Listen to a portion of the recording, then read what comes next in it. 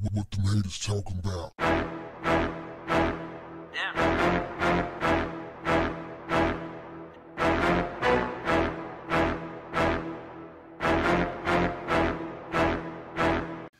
What's up, family? A former doorman who worked at Trump Tower for Donald Trump, your president, says he was paid $30,000 by the National Enquirer to keep quiet about a rumor of Donald Trump's illegitimate child. Yes, Donald Trump, your president. Dino Sajudin says he was paid the $30,000 in hush money in late 2015 about Trump's love child by the National Enquirer. They instructed him, however, that he needed to keep his mouth shut or else face a $1 million penalty before they stroked the check. They conducted a lie detector test with him, which he passed, and they gave him the money. Now, of course, Donald Trump is denying this. But here's the juggernaut.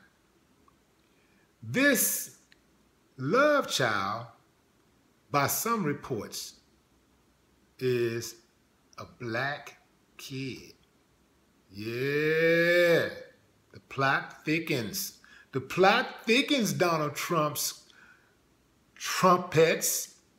It thickens. This dude, this should not be a surprise.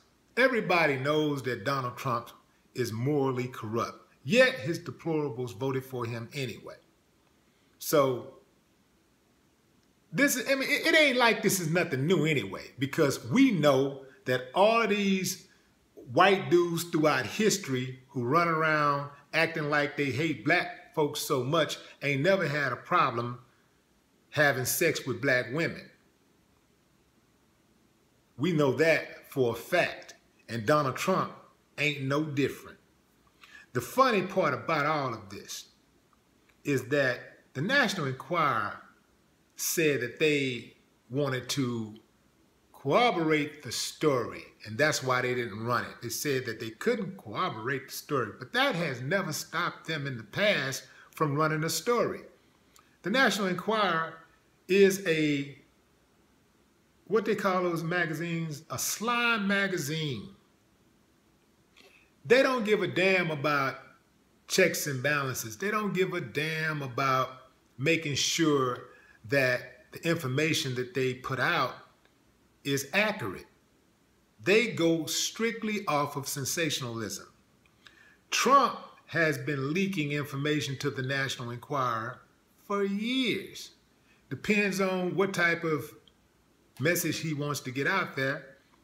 He'll either highlight a story or bury a story. You know, he'll call the National Enquirer, get with them, and have them to bury the story. Now, how is it that Trump has so much power over the National Enquirer? I'll get to that in a minute. I just want to go back to how morally corrupt this dude is.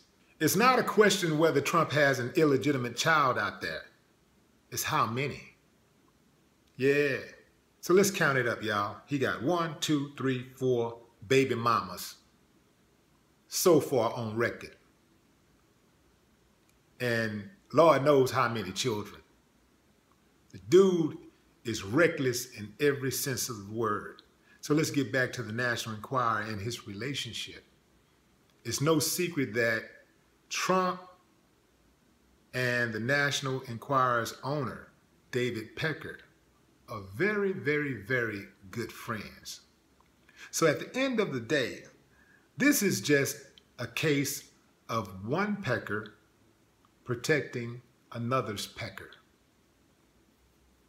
No more talk. What the haters talking about?